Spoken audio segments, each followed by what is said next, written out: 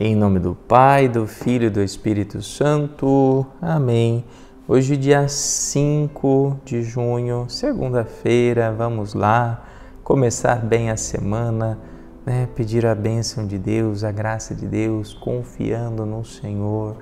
Né? A palavra da semana passada foi muito, muito forte, né? nos ensinando a buscar sabedoria a palavra de ontem também foi muito importante para nós, nos ensinando a, a, nos mostrando esse Deus que quer salvar, mas a gente que também precisa querer se salvar. E vamos ver o que a palavra vem nos falar hoje. Hoje é o Evangelho de São Marcos, capítulo 12, versículos de 1 a 12. Naquele tempo, Jesus começou a falar aos sumos sacerdotes, mestres da lei e anciãos, usando parábolas um homem plantou uma vinha, cercou-a, fez um lagar e construiu uma torre de guarda. Depois arrendou a vinha a alguns agricultores e viajou para longe. Na época da colheita, ele mandou um empregado aos agricultores para receber a sua parte dos frutos da vinha. Mas os agricultores pegaram o empregado, bateram nele e o mandaram de volta sem nada. Então o dono da vinha mandou de novo mais um empregado. Os agricultores bateram na cabeça dele e o insultaram. Então o dono mandou ainda mais outros e eles o mataram. Trataram da mesma maneira muitos outros, batendo em uns e matando outros. Estava-lhe ainda alguém, seu filho querido. Por último, ele mandou o filho até os agricultores, pensando: Eles respeitarão meu filho. Mas aqueles agricultores disseram uns aos outros: esse é o herdeiro. Vamos matá-lo e a herança será nossa. Então agarraram o filho, o mataram e o jogaram fora da vinha. Que fará o dono da vinha? Ele virá, destruirá os agricultores e entregará a vinha a outros. Por acaso não lestes na Escritura? A pedra que os construtores deixaram de lado tornou-se a pedra mais importante. Isso foi feito pelo Senhor e é admirável aos nossos olhos. Então os chefes dos judeus procuraram prender Jesus, pois compreenderam que havia contado a parábola para eles. Porém ficaram com medo da multidão e por isso deixaram Jesus e foram-se embora. Palavra da salvação, glória a vós, Senhor. Nós estamos diante de uma parábola, uma parábola onde é nos apresentado, através desta comparação, um Deus que espera de nós né, uma produção de frutos.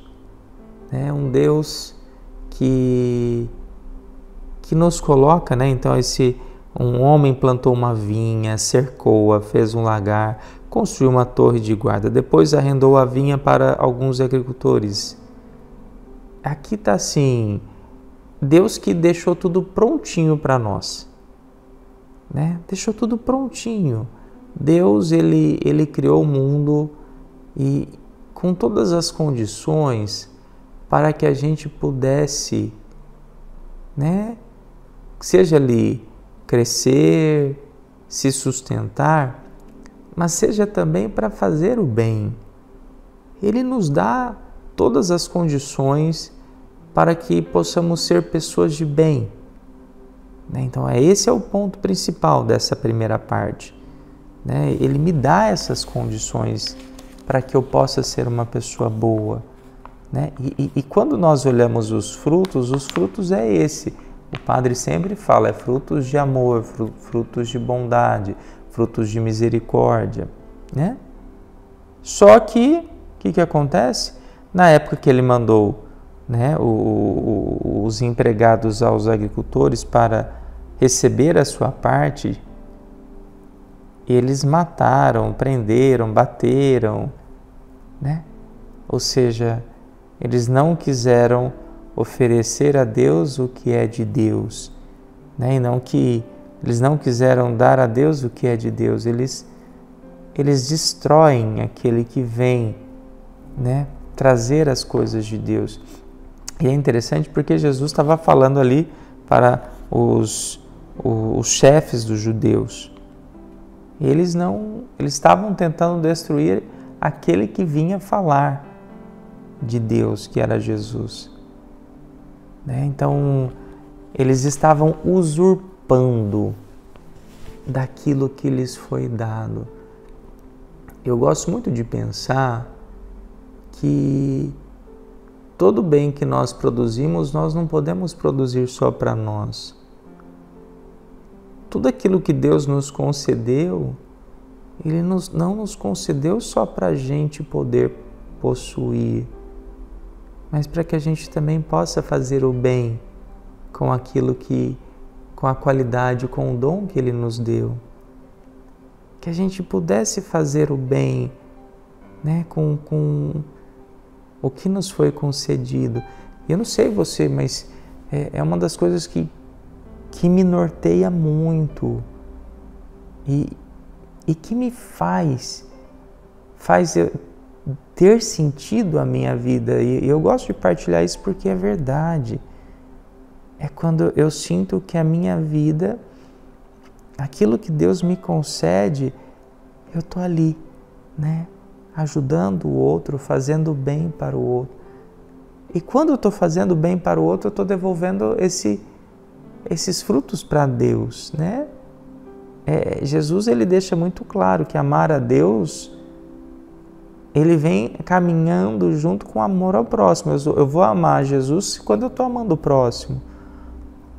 Então eu não, não, eu não usurpo, eu não pego tudo para mim mas eu sei partilhar, eu sei enxergar o, o próximo, eu sei ali, né, entender que se Deus me concedeu um pouco a mais, se eu tive a graça, seja pelo meu esforço, porque tem gente que fala assim, é, mas eu tenho porque eu trabalhei mais. Ele não tem porque ele não fez. Meu irmão, não, não importa.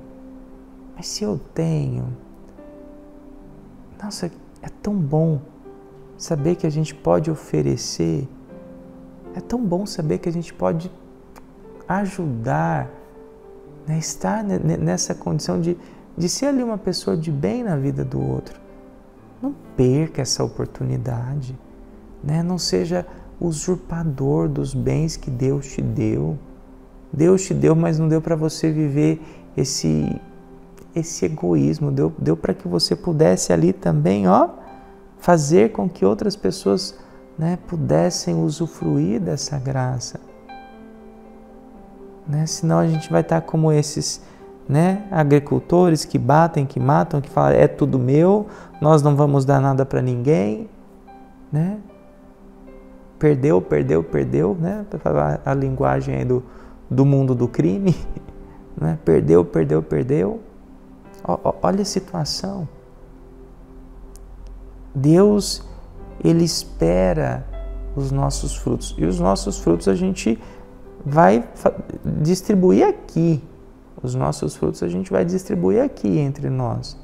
Quando eu ajudo um irmão, quando eu faço bem para o outro, quando eu, quando eu sou um sinal ali da bênção de Deus na vida do outro. Hoje a palavra está falando sobre isso. Não seja usurpador de tudo aquilo que Deus te deu. Deus não deu só para você. Deus te deu todos esses dons, todas essas qualidades para que você também pudesse fazer o bem na vida do outro. Faça. E ó, você, a tua vida vai ter um sentido totalmente diferente. A tua alegria será muito maior quando você perceber que você pode fazer a diferença na vida do próximo. Então nós vamos rezar juntos. Pai nosso que estais nos céus, santificado seja o vosso nome, venha a nós o vosso reino, seja feita a vossa vontade, assim na terra como no céu. O pão nosso de cada dia nos dai hoje, perdoai as nossas ofensas, assim como nós perdoamos a quem nos tem ofendido, e não nos deixeis cair em tentação, mas livrai-nos do mal. Amém. Que o Deus Todo-Poderoso te abençoe, Pai, Filho, Espírito Santo. Amém.